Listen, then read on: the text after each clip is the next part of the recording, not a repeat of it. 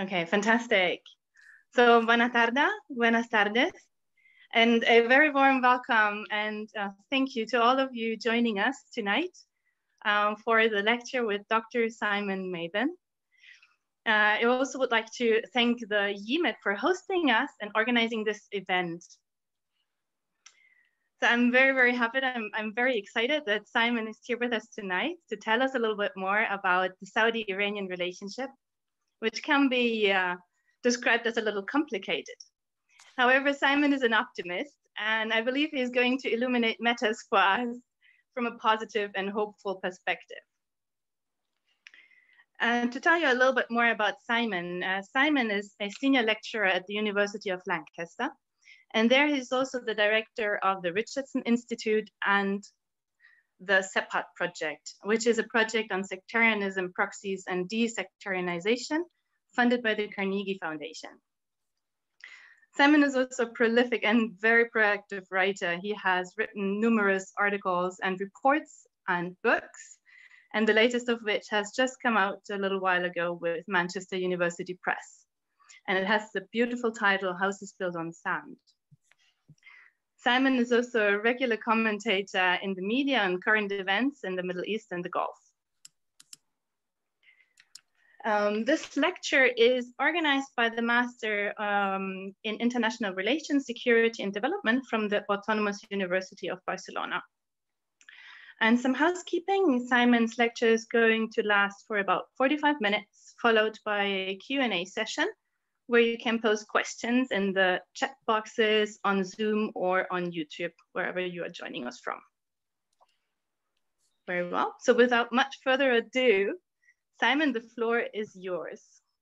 Wonderful. Thank you so much, Olivia. Thank you to everyone at DIEMED and thank you all of you for, for joining us today. I'm really looking forward to, to sharing some of my thoughts about the rivalry between Saudi Arabia and Iran, which is something that I've been working on for the best part of, of 15 years or so now, on and off. Um, and yeah, I think it's it's a really important set of of relations, rivalries, uh, an intersectional crisis, one that isn't necessarily fixed or immutable, but one that, that oscillates across time and space. And, and that's kind of what I'd like to talk a bit about today, the ways in which this, this rivalry plays out across the Middle East, but does so in a, in a way that is contingent upon a range of factors, time, space, domestic forces, regional politics, international politics, and how the rivalry is, is simultaneously shaped by, but also shapes these, these factors. And I want to focus towards the end on, on the impact of, of domestic politics in both uh, the kingdom and the Islamic Republic, but also to reflect a little bit on, on COVID-19 and the ways in which the coronavirus has, has shaped the rivalry or reshaped regional politics according to um, to, to my understanding of, of the, the way in which the rivalry is, is structured. But before we do that, and before I get to that point, I'm going to try and share a screen where I hopefully have a PowerPoint presentation available. Um, moment of truth. Um, play from start. That should be full screen. Is that correct? Fantastic. So what I am going to do then is try and engage with following four questions. How do we understand the rivalry between the two states? How do we understand it? How do we conceptualize it? How do we frame it? What is its impact on the Middle East? What role do domestic politics play and what is the impact of COVID-19? Now, these four questions have a number of other questions built into it. I, I sort of hinted at Uh, the first one, how do we understand the rivalry? How do we conceptualize it as well? Now, a great many people working on this topic would say that, look, the, the rivalry between these two states can be reduced to, to maybe three different positions. One suggests that it's all about power politics. It's a struggle for regional supremacy, for, for power, for influence across the, the Gulf and across the Middle East this this may be understood in terms of hard power or soft power but it, it's it's about power that's one approach The second approach suggests that it's not really about power, but it's about religion and it's about religious legitimacy, religious influence. It's the two major uh, Muslim powers in the world today the Wahhabi Saudi kingdom and the Shia Islamic Republic, broadly speaking, and slightly simplistic, but but that's the argument being portrayed. And that drawing on, on some of the literature from sectarianism, this rivalry pits a, uh, a Sunni state against the Shia state. And because of the long-standing and fraught relations between Sunni and Shia, there is no way that these two states could be um, could be engaging in a, in a positive form of rivalry. So that's the second position. The third position suggests that, well, it's actually a bit of both. It is about regional power and influence, of course, because they are states and states seek to maximize their, their interests according to, to the realist position, but also they are shaped by, um, by claims to legitimacy, by the ability to speak, to mold and engage with different identities, ideologies, and so that's the, the view that I subscribe to that what we're seeing actually when we're looking at the rivalry between these two states is a, a complex interaction of power politics, but also identity politics. And that combines not only sect based divisions, but ethnicity, culture, uh, and in many ways, ideology as well. So that's the the view that I would hold on this. And I'm not going to spend much time across the the lecture talking about the three different positions, but I'd like you to just keep in mind that that those are the three in which the rivalry is typically understood. One, it's all about power politics. Two, it's all about religion. Three, it's actually a bit of both because religion offers a means of speaking to a range of different groups, and religion offers a means of um, of deriving support from a range of different communities. So that's the first question. Second, what is, what is its impact? And that begs the question, its impact where, its impact when and how. So are we talking about in the Gulf, in the Persian Gulf? Are we talking about in the Middle East? Are we talking about across the world? Are we talking about the Muslim world, if we can speak about such a thing? Are we talking about within Islam generally? We're talking about in terms of energy security? Are we talking about oil politics? What are we talking about here? Are we talking about regional security? What is the impact? Where is the impact? There's lots of different ways of engaging this type of, of question. And what I'll try and do is, is show a number of the different ways in which you can engage with these types of questions. Now, we can also bring in a, a, geographical dimension to this, of course, by saying, are we focusing on specific states? And I would say that across the, the 40 years or so since the Islamic Revolution, you can see that a number of arenas have emerged whereby there is a, a sense of rivalry between Riyadh and Tehran. And those, I think, would typically be acknowledged to be Bahrain, Iraq, Lebanon, Syria, and Yemen. Now, more recently, there are other sites of competition, and we start to see this when we look at, say, Pakistan, India, Indonesia, and beyond. But I would say that, that the five states that I just mentioned, uh, Bahrain, Iraq, uh, Yemen, Syria, and Lebanon, are the, the main arenas. And of course, there is a different impact on each of those arenas as a consequence of a range of different factors, including um, foreign policy goals, foreign policy agendas, including the ways in which the, the states have or, or seek to cultivate relations with these different arenas. And then segueing into the third question, what role do domestic politics play? Well, I think there's there's two dimensions to this. Are we talking about domestic politics in either Saudi Arabia or Iran? In which case we have a form of neoclassical realism that suggests that foreign policy is constructed on the basis not only of, of broader power maximization agendas, but also as a consequence of domestic politics. And so that's one dimension. But a second dimension is that the domestic politics of, say, these five arenas of Bahrain, uh, Iraq, Lebanon, Yemen, and Syria also conditions the ways in which the rivalry can play out. So, for example, the political organization of the Lebanese state and the emergence of these two school, uh, these two camps, the March 8 and March 14 camp, means that the the rivalry and the the Saudis and the Iranians are, are kind of given the the conditions through which they can engage in a way that that reinforces the rivalry in that there is an existing form of, of division and competition taking place in the Lebanese state. And of course, it's different elsewhere in these different arenas. And lastly, what is the impact of COVID-19? And I think this is this is a difficult one, but it's a pertinent one. And we can ask here, what is the impact of it in terms of uh, the impact on Saudi Arabia, the impact on Iran, the impact on the Middle East, the impact on energy politics, the impact on regional security, or the impact on the rivalry broadly? And I will focus uh, on, on the last one of those, because I think that there's a really interesting set of reflections to be made that, ref, that examine the ways in which a particular period of crisis allows for a reimagining of regional politics and a reimagining of the ways in which politics plays out.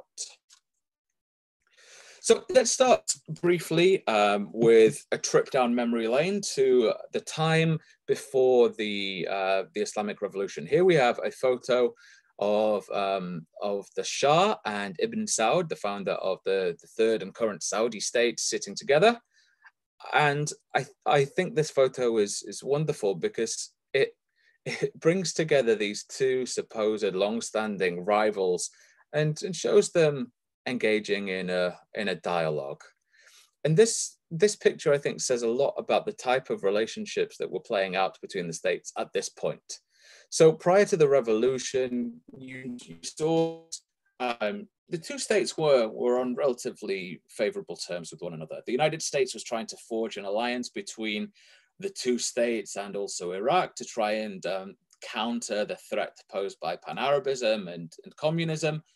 And, and so that tells you a great deal about the, the type of relationship that was going on. And it also tells us a great deal about, um, or it, it helps us respond to the claim that it's all about religion.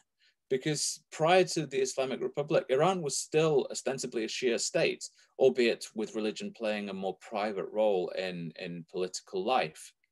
So if that was the case, then there was no way that, that the Saudis and the Iranians could work together, given the, the openly hostile nature of Wahhabism towards Shiism and the, the concerns that many in, in Iran had about Saudi's stance towards Shia, uh, towards the Shia. And yet here we have uh, the Shah and here we have Ibn Saud sitting together, talking together and, and seemingly working together on it should be stressed that there were concerns that whilst whilst Iran was happy to work with with the, the nascent Saudi state, there were concerns amongst the clerics in Iran. Now, granted, the clerics played a different type of role to what they do now, about the ways in which the Wahhabi ulema was was behaving towards Shia shrines. Um, and and we know that that Saudi Arabia has a complex and often um, fraught relationship with with Shia groups. So that's a, an interesting and important uh, thing to note, I think. And this is something that Banafsheh Keynoush touches on in, in some detail in her book, um, exploring the relationship between the two states prior to the revolution, which is a fascinating time. And it sheds a lot of light on the ways in which uh, regional politics can play out albeit in a in a changed and, and different form of, of regional organization. But of course, 1979 changed everything. We saw that uh, there was a revolution in Iran that toppled the Shah. Uh, we saw the, the celebrations, the mass protests on the streets of, of Tehran and elsewhere, calling for the return of Ayatollah Khomeini from, uh, from exile in Paris. And, and that had a dramatic impact on regional politics. It, as uh, Shahram Chubin and Charles Tripp acknowledge, it left regional relations in tatters. It, it involved tearing up the ways in which regional politics had been playing out. Non uh, more appropriately than the, the relationship between the Saudis, the Iranians, and the Americans. Khomeini sought to change everything. He sought to establish uh, the Islamic Republic that placed Shia values and Shia values in the guise of Islamic values right at the heart of the state. Now, I say Shia values in the guise of Islamic values because I think it's important to note that that Khomeini sought to make sure that Iran was perceived as an Islamic republic rather than a Shia republic because of the demographics of the Muslim world. That Shia groups and Shia, popu- uh, Shia Muslims are in a minority, a, a large minority, and there was an effort to try and ensure that that the Islamic Republic was able to draw support from from other other Muslims, Sunni Muslims, beyond Shia Muslims. Yet what was interesting is that if you look at the Iranian constitution, you'll see that it is replete with uh, reference to, to Karbala, reference to other Shia experiences, uh, Shia memories, Shia beliefs, which, which makes it a really interesting document and it makes for an Islamic republic that is essentially Shia in character and that, of course, was not well received by the Saudis. They um, they saw this as a as a cause for great concern. The the Saudis had long positioned themselves as the leaders of the Islamic world. They derived their legitimacy from being the protectors of the two holy places. And the revolution in Iran really tore up and and really challenged the ways in which the Saudis laid claim to Islamic legitimacy. So there were concerns there amongst many in Riyadh. And at the same time, there were also concerns about what was happening domestically in the kingdom. And on the left of the screen, there's a photograph that was taken of, I believe, a, a French mercenary uh, who was operating under the Grand Mosque of Mecca. And this was after the Grand Mosque was seized by uh, a, a, descendant of the Ikhwan, the uh, Wahhabi elite fighting force of the 1920s who uh, Juhayman al-Utaybi, who had seized the Grand Mosque in 1979 in an attempt to uh, express anger, frustration um, at the, the Al Saud family, who were seen to be corrupt, impious, and unworthy to be the, uh, the rulers of the two holy places. So he have this really interesting and, and potentially serious challenge to the Saudi uh, to the Saudi state from from the outside, but also from within, whereby you have similar types of rhetorical claims being made by domestic critics and also regional rivals. The, the seizure of the Grand Mosque was ultimately ended by, um, by external mercenaries, including French mercenaries, who were granted permission to go into the Grand Mosque and um, and put an end to the the protests, uh, killing Juhayman al-Utaybi and and his followers. Now uh, there there are other dimensions to this protest that I don't really have time to go into, but uh, Thomas Hegghammer has written a fantastic book on this, and I think that's worth maybe having a look at because the there is a great deal going on in terms of of the the seizure of the Grand Mosque that really challenged the, the Saudi state ideologically as well as politically. Now, the other incident that year was the um, the Soviet invasion of Afghanistan, which which created conditions for the widespread politicization of Islamic movements. So it's within this climate of, of revolution in Iran, of domestic dissent and broader politicization of Islamic movements that the rivalry the Saudis and the Iranians took a, a, a new turn. It, it took on additional characteristics. And a lot of this was underpinned by um, a quest for legitimacy, broader efforts to, to derive legitimacy from, from Muslims across the world. And what you start to see very quickly in the formative years, uh, months and years of the uh, Islamic Republic are rhetorical attacks on the Saudi state, and in particular on the Al Saud. And there are some quite venomous attacks, not only from Khomeini, but other senior officials on key members of the Al Saud, who in turn respond to, uh, to these charges with equally damning criticisms um, levied at, at Khomeini, including parallels with the Nazis and um, suggestions that Khomeini is trying to draw parallels with, with God. So there's some really quite serious allegations flying around that, that make an already tense situation far, far worse. Now, of course, there was the Iran-Iraq war going on at this point as well, where um, where Iraq invaded Iran as an attempt to prevent the spreading of the revolution. And Saudi Arabia had a great deal of concern about what was going on in Iraq because of the emergence of the, the new Ba'athist ruler Saddam Hussein, but ended up providing financial support to the Iraqis because of their concerns about what was happening in, uh, in Iran at this time. And so what we start to see in the years that, that follow are efforts to try and redraw regional politics. And this is both intentional and unintentional. And you see that, um, that groups across the region become inspired by what had happened in Iran, particularly Shia groups. And uh, you, you see that in, in the eastern province of Saudi Arabia, there were protests and uh, demonstrations following the revolution in Iran. Not necessarily um, directly incited by Iran, as many would have you believe, but inspired by what happened. And you also have events in Bahrain and Lebanon, which were driven by Iran as an attempt to try and spread the revolution amongst Shia Shia communities. So in Lebanon, the Iranian state provided a great deal of financial, ideological, logistical support to um, the, the Lebanese Party of God, Hezbollah, which was formed in 1982. Now, a couple of years prior to that, um, the, the Iranians provided support to the Islamic Front for the Liberation of Bahrain, which was a, an indigenous movement sought to topple the, the Al Khalifa ruling family there. And this was ultimately thwarted by the, uh, the Al Khalifa and its security forces.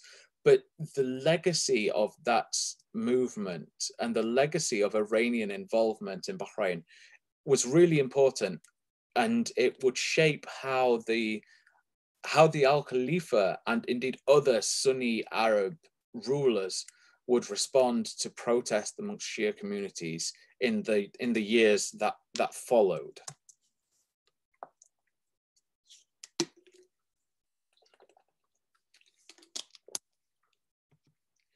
Yeah, at the end of the 1980s and with the death of Ruhollah Khomeini, we start to see uh, an evolving rivalry. We start to see a change in the ways in which uh, Tehran and Riyadh engaged in, in relations. And this was in part triggered by domestic changes in both states, but also a devastating earthquake that shook Iran um, in the early 1990s and left around 70,000 people dead.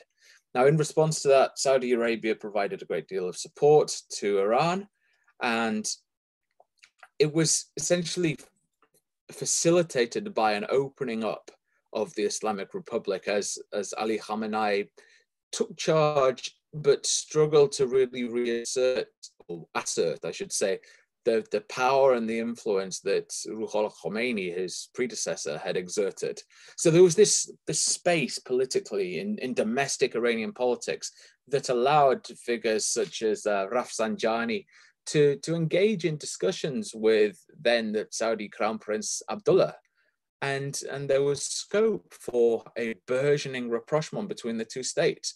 And this lasted from the early 1990s until around 2003 and the, the two states engaged in discussions about regional security. They engaged in discussions about improving bilateral relations. And it was a really positive period in, in, the, in the relationship. Yet it was ultimately thwarted by broader uh, regional and international trends.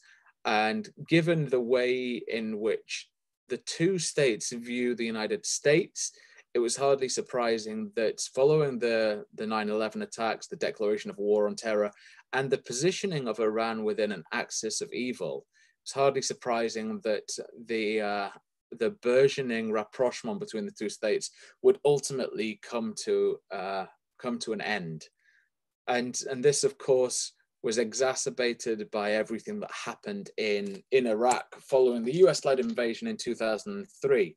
Now here we have the opening up of a state, the hollowing out of the the Ba'athist infrastructure, which I should note. Um, erstwhile British uh, Foreign Ministry Minister Philip Hammond said was one of the biggest mistakes that the British made, ultimately leading to the rise of Daesh.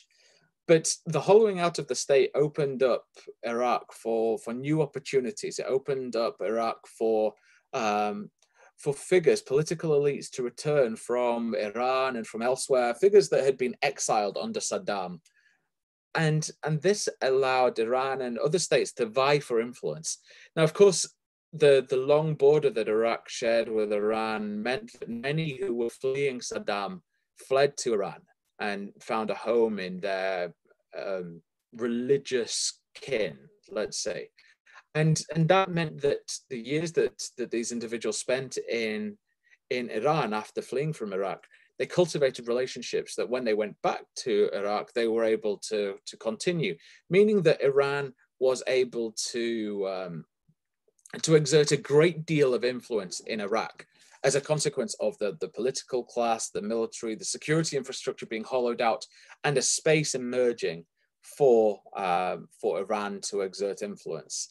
Now, this was a, a great concern to Saudi Arabia, who who were very concerned about rising uh, Iranian influence across the region, which I think is is is interesting to note, given that the that apparent rapprochement between the two states had only recently failed, but yet there was still a very strong concern, and I think this is perhaps a consequence of the end of a tripolar regional uh, system that that had Iraq, Iran, and Saudi Arabia operating in tandem, if you will. And now having uh, having removed Iraq from the equation, you have a bipolar system whereby the two states, Saudi Arabia and Iran, were competing and competing in Iraq. And it's in this context then, with the Americans on the front line against um, Iranian trained militias, against an Al Qaeda in, uh, insurgency, and against other um, other groups, tribal alliances, etc. excuse me, that the Saudis start putting more and more pressure on the Iranians, embarking on a process of securitization, trying to get the Americans to strike against the Islamic Republic. And it's there where you see the, uh, the infamous quote from, um, from, I believe it was King Abdullah, asking the Americans to, and I quote, cut off the head of the snake calling for a direct military strike on the Islamic Republic.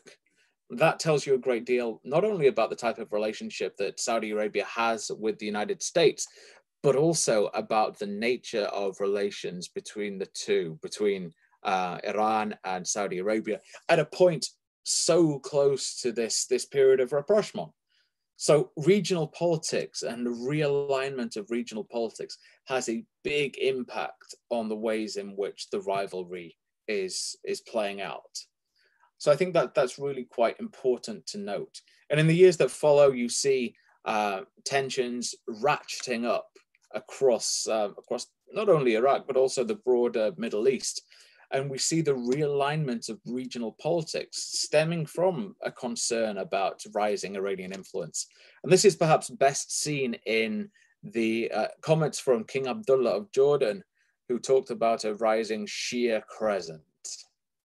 So I think that that's really, um, really quite important here because we start to see that uh, there is a regional collective forming, an anti-Iranian collective forming that starts to frame events along sect-based lines, positioning it as a sense of um, of an of a Shia crescent doing the bidding of Tehran, doing the nefarious of Tehran, seeking to destabilize the region.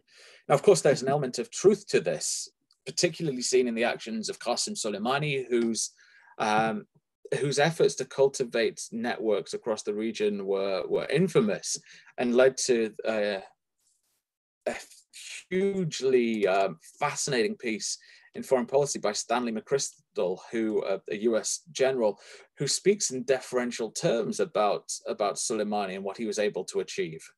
So it's an interesting period intellectually, albeit one that has devastating consequences for for regional politics and for um, for human life across the region.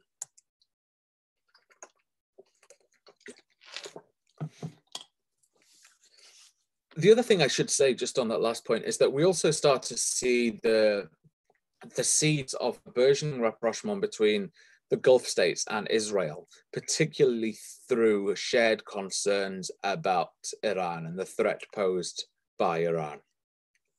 And that, that comes from sort of late 2007, 2008, as, as we hear Gulf leaders talking about the need to, to move towards recognition of Israel and opening up of, of lines of dialogue with the Israelis. Now, the events of 2011 would exacerbate many of these fears and would exacerbate um, security fears and competition between the Saudis and the Iranians.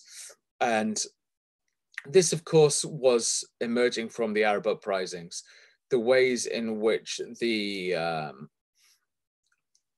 political projects across the region were called into question as sites of contestation, whereby um, the, the popular protests that swept across the Middle East in early 2011, late 2010 and early 2011, created opportunities for the reimagining of political life.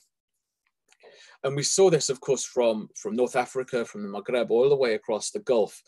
But there were particular states that were harder hit than others. Um, Bahrain, Syria, later in, in, the, in the process, Yemen, and these became sites of broader struggles between the Saudis and the Iranians, partly because of the divided societies that were naturally allowing the two states to, to get involved in a relatively straightforward manner, but also because of their geopolitical importance.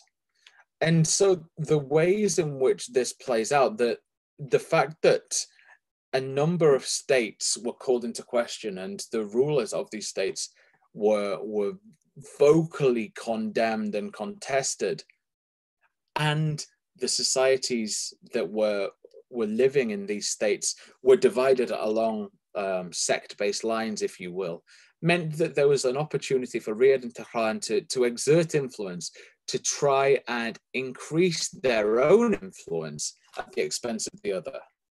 So I think we've got some interesting dynamics that start to play out here. So in, in Syria, of course, protesters uh, took to the streets calling for political reform, um, calling for reform of the Assad regime. And excuse me, the, um, the, the Saudis who'd who'd spent the past couple of decades trying to woo Assad away from Iran, um, they they saw an opportunity here to to do this. They saw an opportunity to topple Assad and to increase their own influence in uh, in Syria at the expense of the Iranians. Now, Iran, of course, was was working desperately to uh, to prevent this from happening. They were very concerned about the threat to the Assad regime because Assad was was integral to Iran getting some some degree of, of traction in the Arab world. And Iran viewed Syria not only as, as a form of legitimacy in the Arab world, but also as a, a means of getting access to, to, um, to Syria, to Lebanon and to Hezbollah in particular. And then conversely, in Bahrain, you see uh, the, the Al Khalifa ruling family, close allies of Saudi Arabia, being called into question, being uh, being challenged by initially a cross-sectarian grouping, but with a large Shia majority being ruled over by a Sunni minority, there was the scope for a process of sectarianization to take place whereby the ruling family and its Saudi backers engaged in the sectarianization of the protests as doing the bidding of, of Iran. Suggesting that the protesters were Shia puppets doing the bidding of Tehran. Now, this is where it's really important that we look at the domestic history, because as I mentioned earlier, one of the reasons this was ultimately successful because of Iran's previous uh, engagement, manipulation, meddling in domestic affairs, notably the case of the um, IFLB, the Islamic Front for the Liberation of Bahrain. So there's an interesting dimension here that was um, was was called into question as as the protesters called for reform and called for an end to the Al Khalifa regime. And this this prompted a spate of clashes. It prompted the, the Saudis to lead uh, a Peninsula Shield force into Bahrain to prevent the um, the protesters from from toppling the regime. So we start to see this playing out across the region as um, as political projects are being contested. There were opportunities for Saudi and for Iran to try and exert influence at the expense of the other, capitalizing on local political contexts, trying to cultivate existing or, or create new relationships with local actors on the ground, capitalizing on, on shared religious, ethnic, cultural links. So there's a whole host of ways that this plays out, but it's contingent on the fragmentation of, um, of political projects. Now, in many ways, we start to see the cultivation of sectarian networks at this point, because as, as Staci Strobl has argued and, and others, there's a stickiness to sectarianism that it, it resonates and it very quickly resonates and allows groups and individuals to, to find some sense of, um, of affinity very, very quickly and very easily. And it allows groups and individuals to, to cultivate relationships and across state borders, the cultivation of sectarian networks proved very easy and very popular. And so we start to see, as these political projects are called into question, the cultivation of sectarian networks. And this is perhaps a set of discussions for another time and another place. But I just wanted to put this here because what we see, particularly post 2003 and then again post 2011, is that there's a realignment of non-state actors as well um, in this process of the contestation of political life and the fragmentation of political life. And ultimately, this leads to, to spaces of contestation whereby you have particular arenas that become um, that become spaces of contestation between various actors, between Saudi Arabia and Iran, between their their local representatives. This is, of course, a photo from from Lebanon, where you have uh, a Hezbollah flag being carried by a young boy, overlooked by uh, Hassan Nasrallah on the right and Ruhollah Khomeini on the left. So, while this is in Hezbollah uh, central, if you will, if you go to a different part of Beirut, you will get a completely different picture.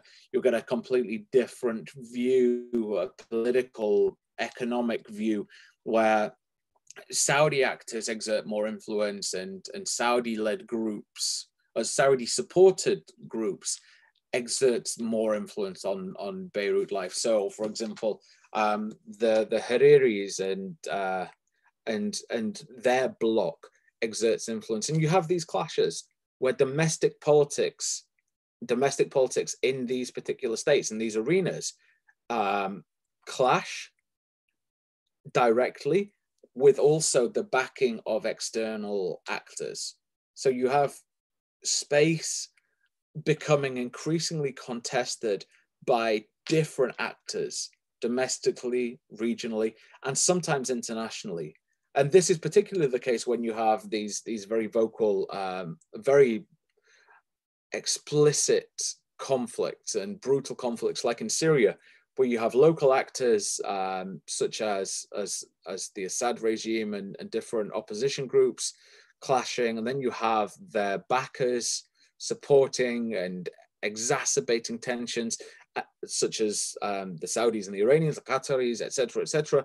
But then you also have the international dimension, whereby the Americans and the Russians become involved, and you have this real mess, this spatial mess of different groups, different actors with different agendas, different aspirations, all coming together, and it leads to to some quite serious uh, issues and, and devastation of, of political, social life and, and the fabric of everyday life. So there's a whole host of domestic factors that shape the the capacity for the, rivalry between these two to play out. There's a whole host of, of issues there, and I've touched on some of them in terms of the issues that allow for the rivalry between Saudi and Iran to play out across the region. But there's also domestic factors pertaining to the kingdom and the Islamic Republic. And this relates to um, a whole host of issues from, um, from economic factors, social factors, religious, ethnic, tribal. And as I argued in my first book, Saudi Arabia and Iran, uh, soft power rivalry in the Middle East, the ways in which the the Saudi and the Iranian state foreign policies are, are cultivated to try and speak to those domestic forces, those domestic issues, trying to mitigate the threat posed by some of these domestic groups.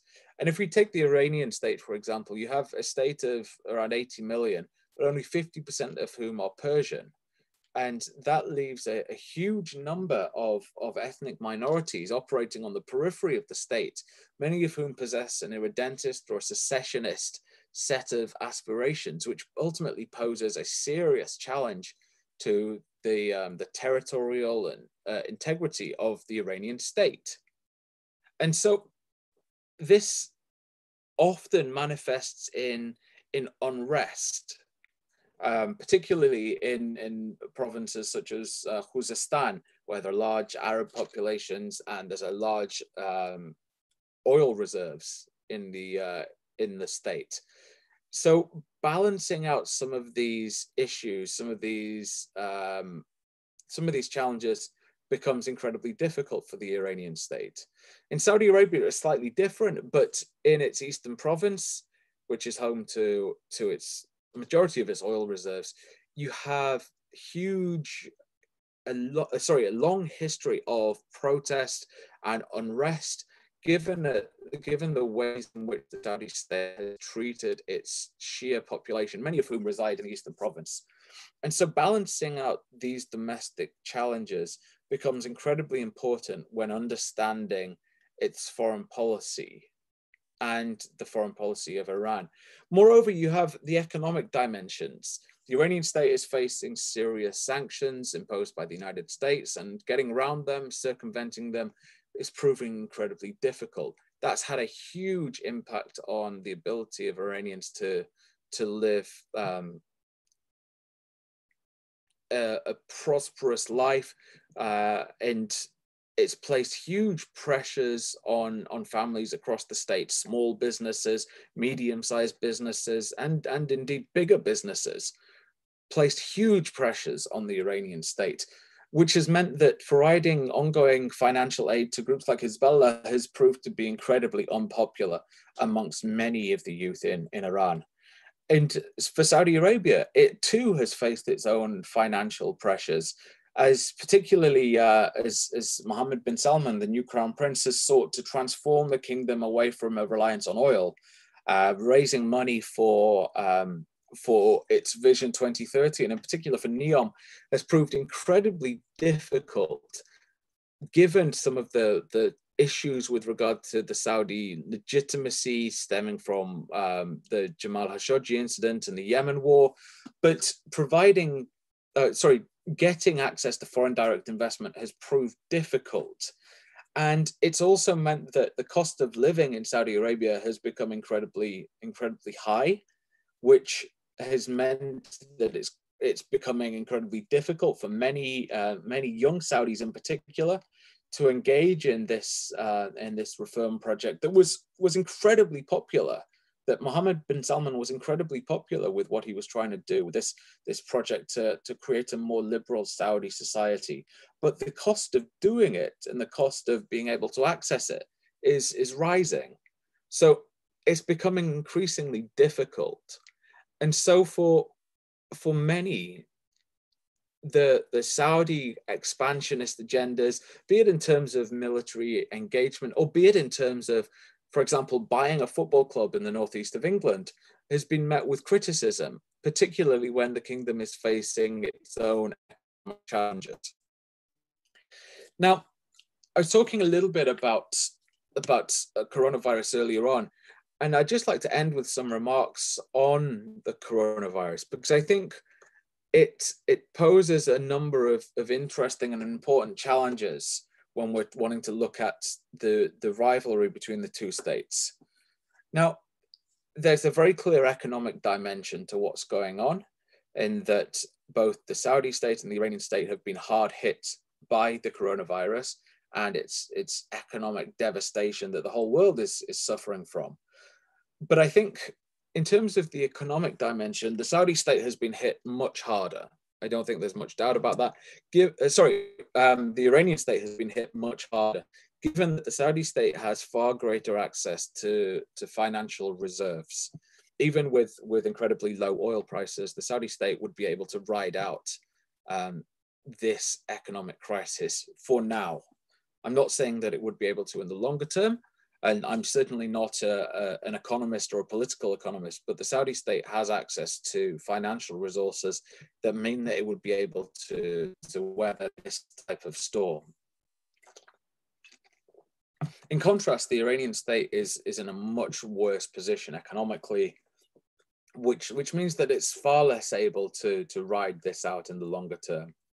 Now, in terms of the number of deaths, Iran has obviously been far worse uh, affected than, than Saudi Arabia, um, where I believe it's only around, the kingdom has only experienced around six or 700 deaths, which obviously is a tragedy, but it's, it's far lower than the 7,000 or so that Iran experienced. Iran is now opened up again or is in the process of opening up again, but this is obviously a complex issue that, that becomes difficult balancing as as many states are experiencing right now balancing public and public safety against economic need. And the iranian state is certainly in dire need of opening up and getting the economy back up and running. But it's doing so in the face of of these very strict sanctions. So there's a, a challenge there. And, and the saudi state of course is trying to do the same thing albeit um, slight with slight a slightly better safety net than the Iranian state. Now, the thing that I think is really interesting in this regard pertains to the ways in which crises can help redraw or reimagine regional politics. And I was talking about the, the case of the 1990 earthquake and the, the way in which that earthquake allowed for an apparent rapprochement between the Saudis and the Iranians. And there is an argument to be made that the coronavirus could allow for a similar type of realignment to take place. And the reason for that, I think, is that responding to crises allows states to, to reimagine things. It gives them the, the context through which they can uh, re- engage with rivals or with other groups in a way that is that is beyond the parameters of what would normally be acceptable. And the example of this, of course, is the UAE and the UAE's relationship with Iran. Uh, with the, the devastation in Iran, the Emirates sent a, a great number of, of medical supplies over to Iran and it, it provided vocal support to the Iranian state. And so this was, we must remember, in the face of serious concerns amongst many Emiratis who were worried about the the ways in which Iran was trying to increase its influence across the Arabian Peninsula. So, in that case, for uh, for the UAE to be reaching out to to Iran and offering support shows what is possible. Now, at present, Saudi Arabia has not done this as yet, but there is the possibility that it could do so, particularly given that the UAE has already set set these these processes in motion. The UAE has already set in motion a, a process of, of opening up to Iran and and opening up to to a dialogue. It may not necessarily lead to a lasting peace or a, a regional security complex, a regional security mechanism and organization that some are hoping for, but there is a, a chance that in these conditions and the ways in which um, the ways in which a crisis allows for the reimagining of regional politics, that there is a possibility, that there is an opportunity for um, for the two states to try and de-escalate some of the tensions that were bubbling away, particularly over the past year with the attacks on the, the Saudi oil refineries, etc. And I think that is me over time. So I will leave it there. Thank you very much. Um, if I may, I will just go and grab some water while you are taking questions, Olivia. Is that okay? Yeah, that's perfect, Simon. Thank Thanks. you so much okay. for this interesting lecture. Okay, great. So it remains for me, as Simon said, to collect a couple of questions. You can post them in, if you are on Zoom, you can um, post them in the question and answer um, box there. And on YouTube, you would likewise have the possibility to insert your questions. Please do so.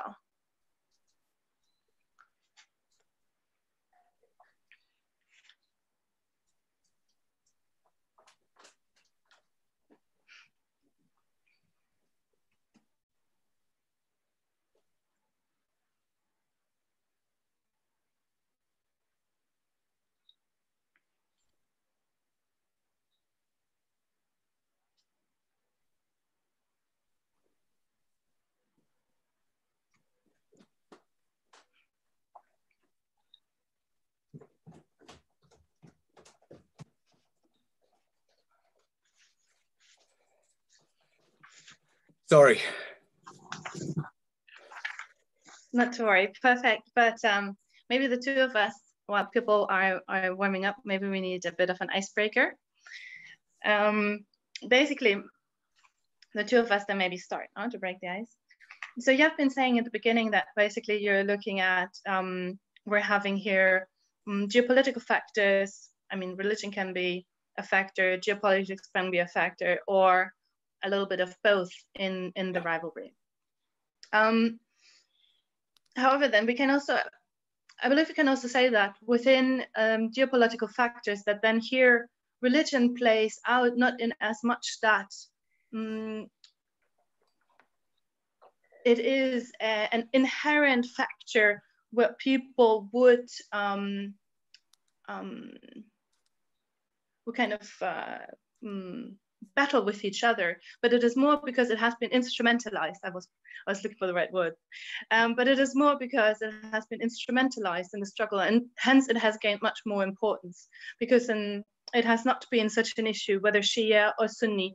So in, in fact, we can actually say that religion has has gained a much more prominent role uh, through the instrumentalization of it by um, by state elites in the geopolitical uh, struggle. Sure, yeah, I, I, I totally agree. I don't want to say that it's. I have a slight issue with the instrumentalist approach, and and that purely is that I worry that instrumentalist approaches, particularly in discussions of sectarianism, and here I think there's an overlap. There's an interesting overlap between sectarian politics and geopolitics in the Saudi-Iranian rivalry. And my one concern with instrumentalist approaches, and by extension, what you're suggesting about the the instrumentalist use of religion in the context of this rivalry by elites is that it's it's sort of empty.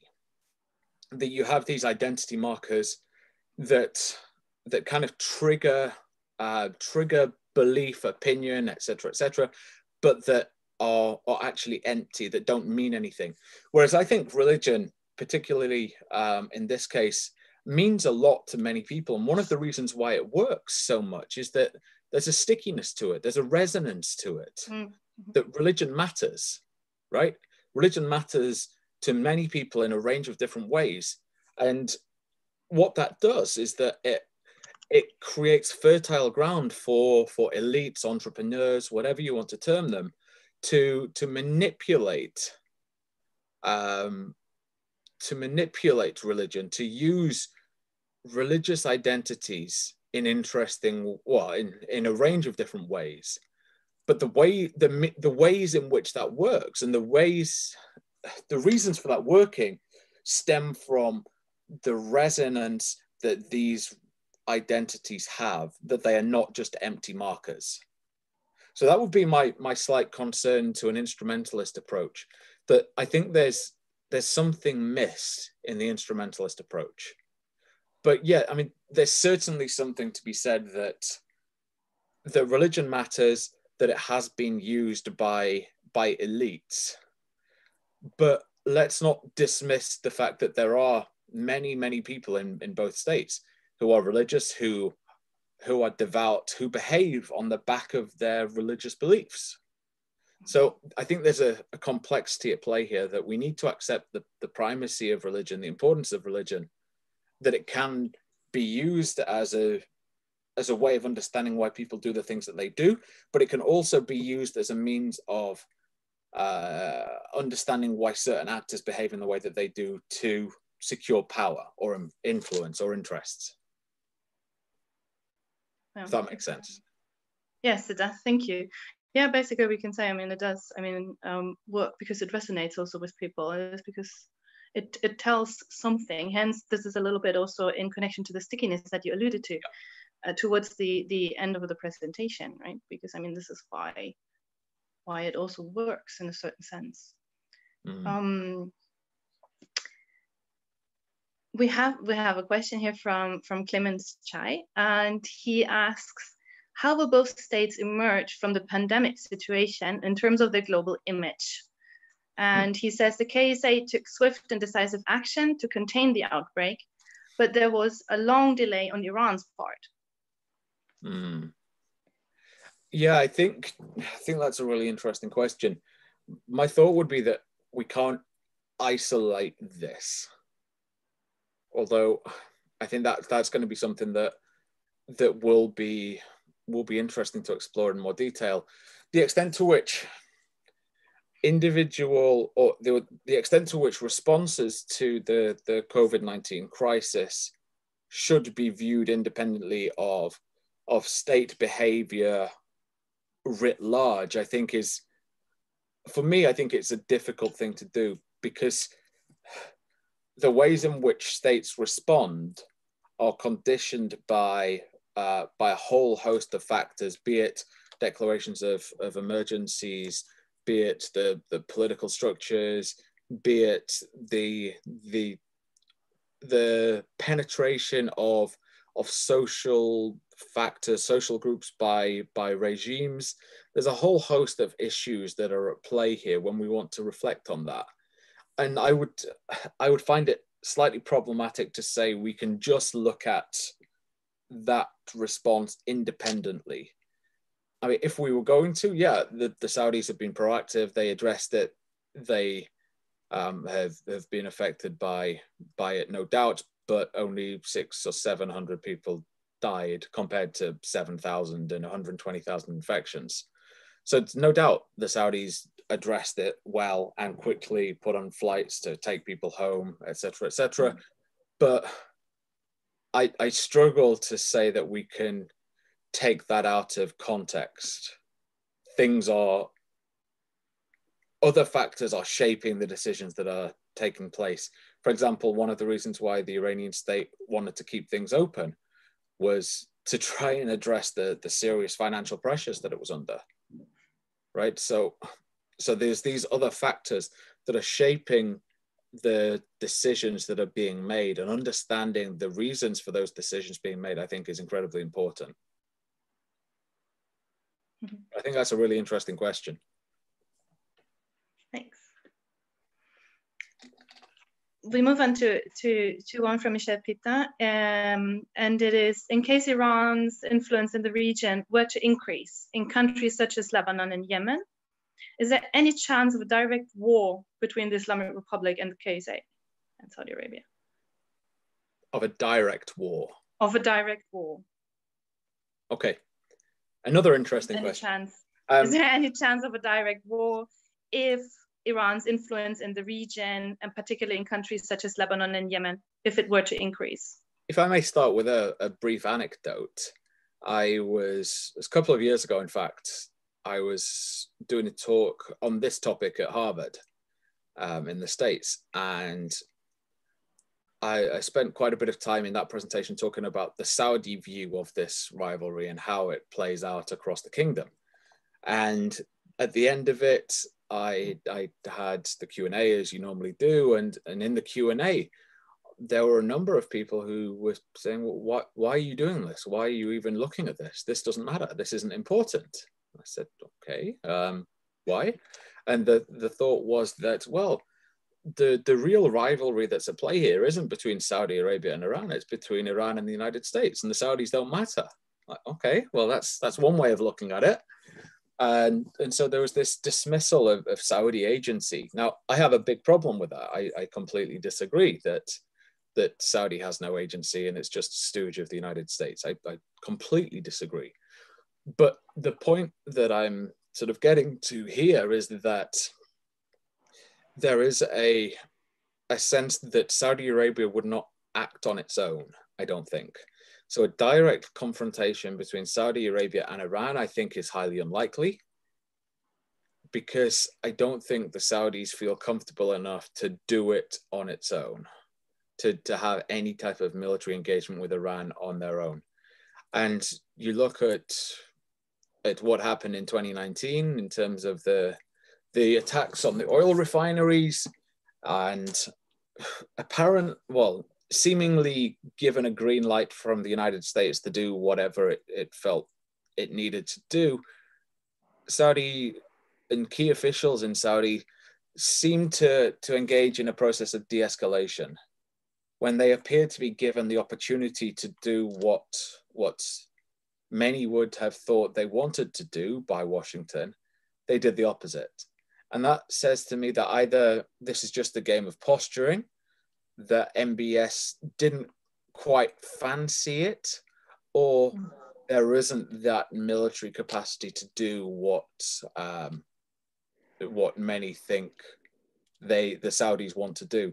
And the other example, of course, is back in 2012 when there was a, a really complex incident whereby um, the Saudi ambassador to the United States, um, a, a, chap named Adel Al Jubeir, was um, he was he was serving in Washington, and there was an attempted assassination attempt on his life, um, and and it was a very complex plot.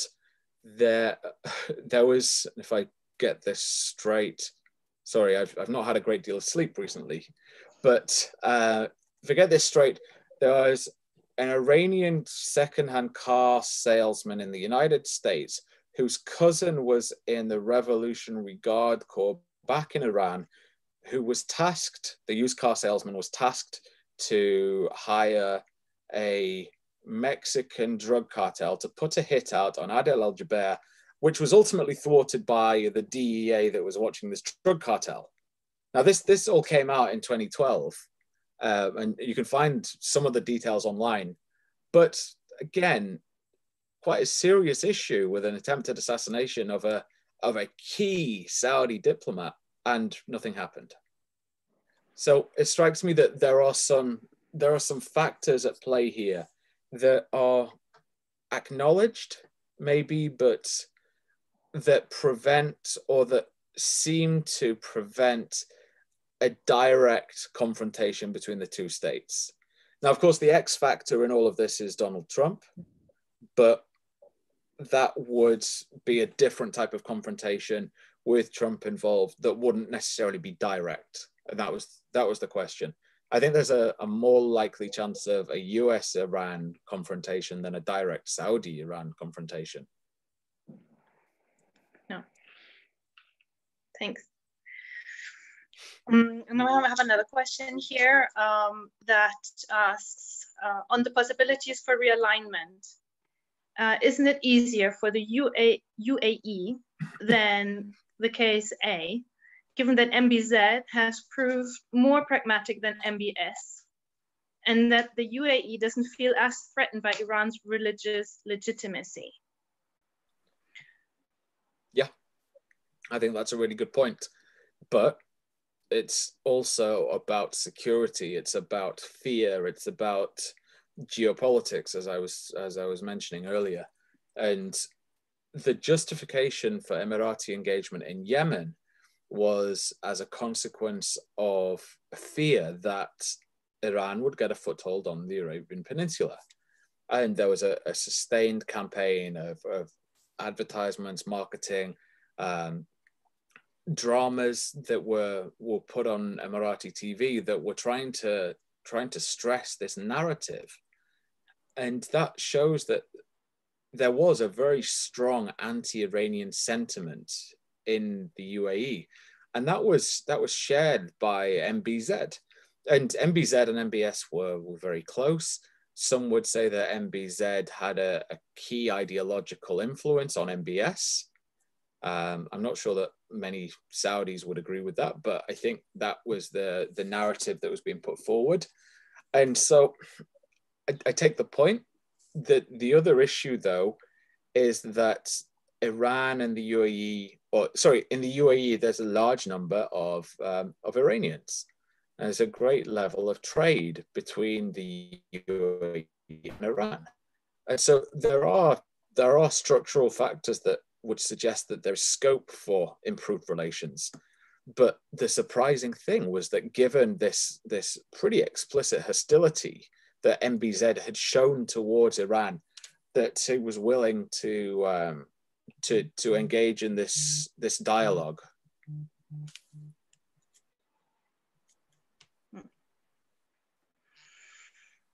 Thank you, Simon. And then we have one, I think this is some, um,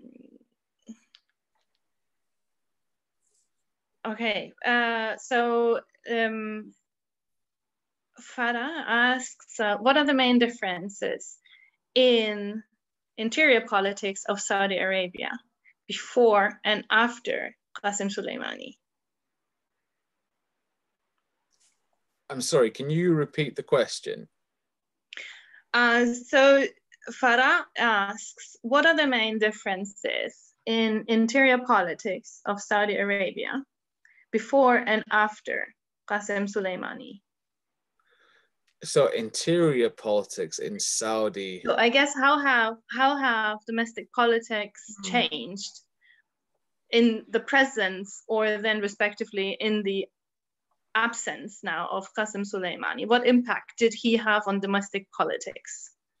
If I, I interpret it, that right, Farah, I hope that that's that it's, correct. It's not so much about domestic politics per se, but I would say it's, it's more about strategic thinking. And there's this sense that, that Qasem Soleimani was, was the bogeyman. He was the person controlling everything, that he was behind all of the nefarious events that were, were taking place, behind all of the um, the subterfuge, all of the issues that were were playing out in the uh, in the in the Middle East more broadly, I guess that if there was an issue and and there was some type of Iranian activity um, that was was nefarious in some way, shape, or form, then Qasem Soleimani was was behind it. That there were these perceptions that he was the one responsible for for everything that was happening, and so I think that that losing Soleimani was, was obviously a big blow to the Iranians.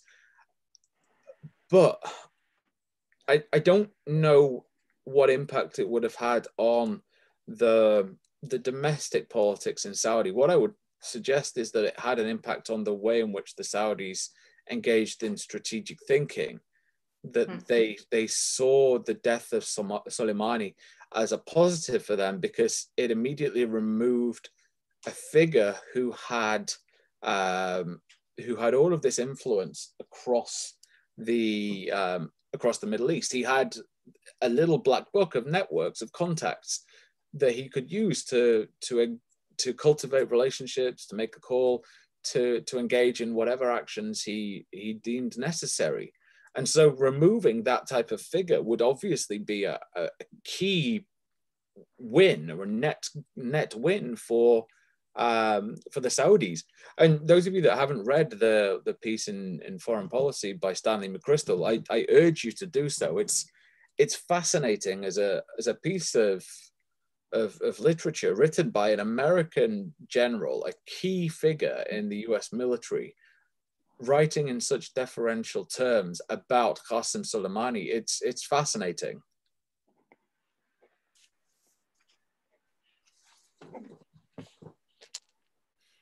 Thanks, Simon.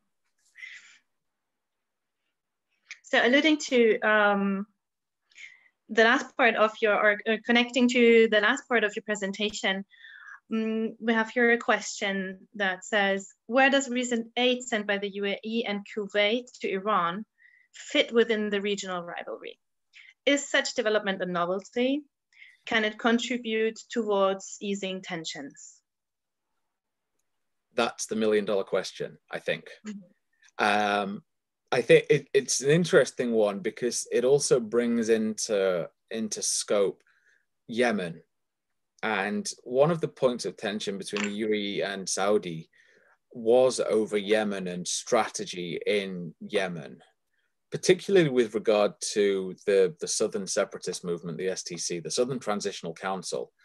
And I think that the Emirates were were big backers of Idris Al Zubaydi and his um, his STC movement to the point where um, Al Zubaydi is alleged to to be a, um, a Man City fan walking around um, around his uh, his bases in Yemen in a Man City shirt, but um, that is much to the chagrin of, of Saudi Arabia, who who don't want to see a secessionist movement in Yemen.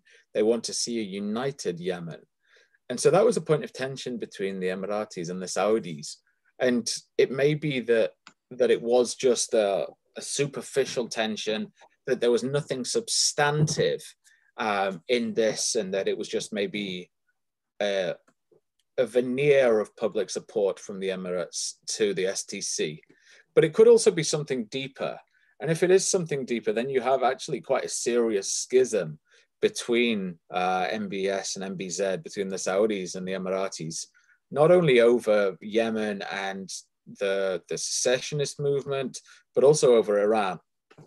Because if this is more than just a, a one off, then you could possibly have a realignment away from um, away from Saudi Arabia, pushing it towards pariah status and if that's the case, then then you could potentially have a new block forming. And that would create a, a multipolar gulf, which would be incredibly unstable and incredibly precarious, with the Saudis and the Bahrainis and, and the Egyptians on one side, the uh, the Emiratis on another, the Qataris and the Turks on another, the Iranians on another, the Omanis and the Kuwaitis somewhere in the middle of it all, trying to keep the peace amongst the GCC.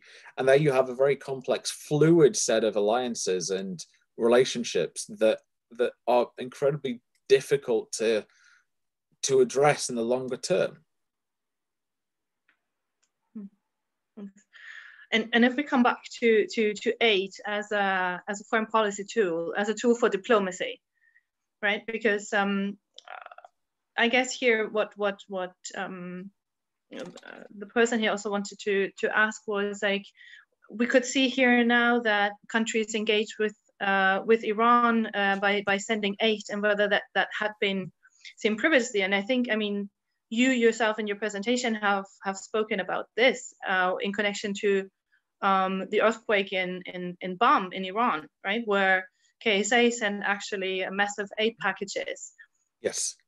Mm but the question is so because we have seen this periodically happening among the countries i mean it's a, a, novelty it is not so to say.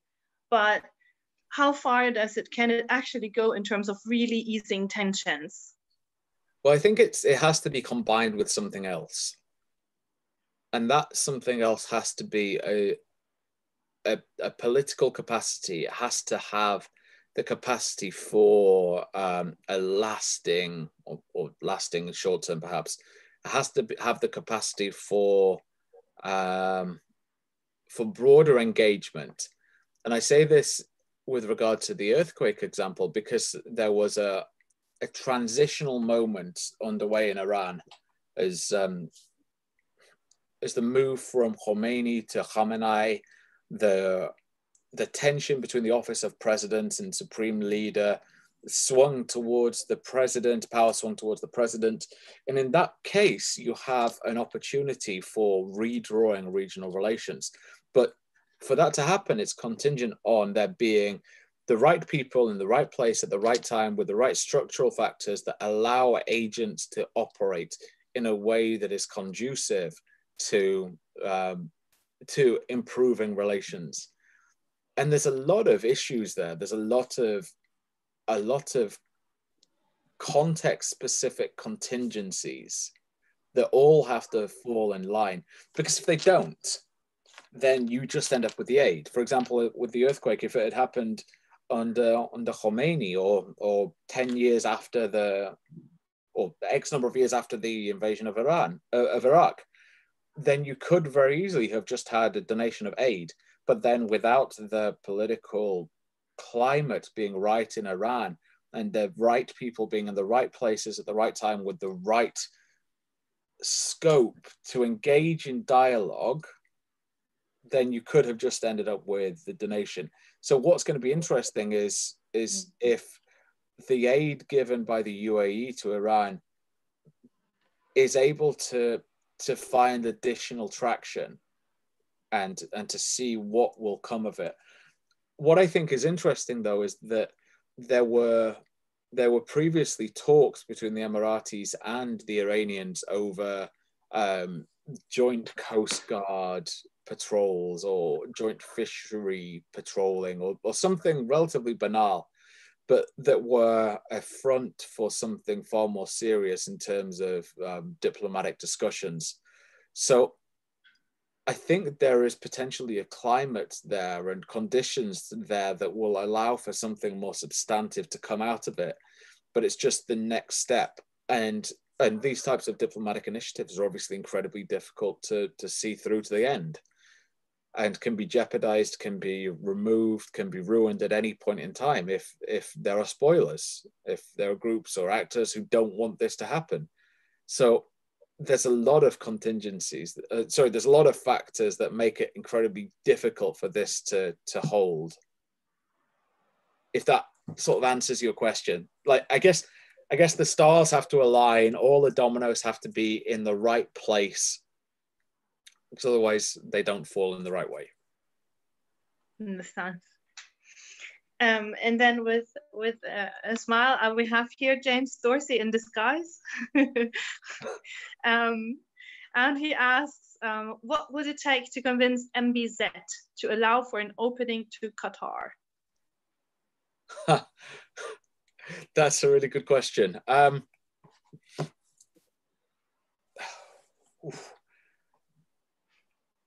I don't know.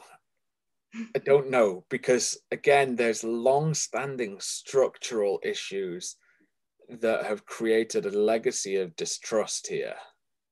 Um, and it's not just the distrust between the Saudis and the Qataris, but also between the Emiratis. And there's tribal dimensions, there's national dimensions, there's broader competition in terms of sport, in terms of politics it it's going to take quite um, quite something.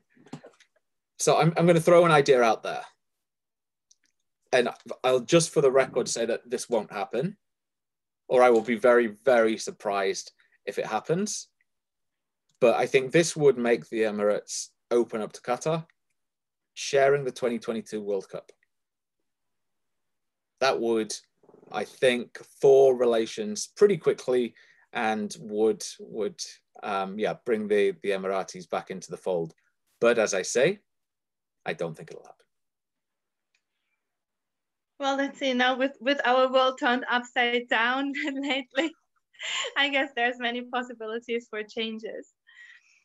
Um, and I guess also Qatar might might might not be um, uh, opposed to to having some um, some support and financial means, so to say. Mm. Um, so I think I just wanted to say um, also to if there's anybody um, who would like to ask a question but does not want to do this in English, you can also quickly write that in Spanish and I'll do my best to translate it to Simon if that was an option, just to to let you know. You can do that very, very, uh, very easily in the in the chat box here.